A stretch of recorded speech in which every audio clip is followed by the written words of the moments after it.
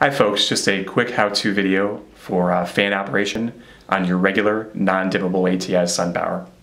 First thing you want to do is you want to uh, take the uh, plug tip from your AC-DC adapter included with the fixture and insert that into the black junction box uh, connected to the fixture itself.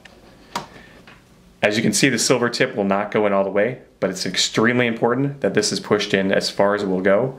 If that is not done the fans will typically not fire reliably. Next thing you want to do, check the setting on your AC-DC adapter box. We uh, recommend setting it at 9.0. If the fans are a little bit loud, you can also run them at 7.5, but we do not recommend running them anything lower than 7.5.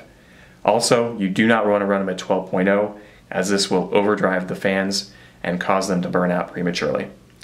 Next thing you want to do, plug the AC-DC adapter to the wall.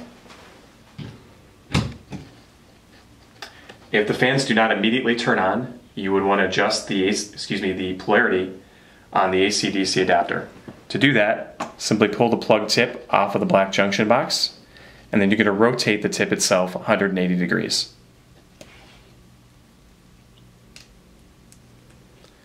Go ahead and plug it back into the junction box, and the fan should turn on. If you have any additional questions, feel free to reach us at atinorthamerica.com.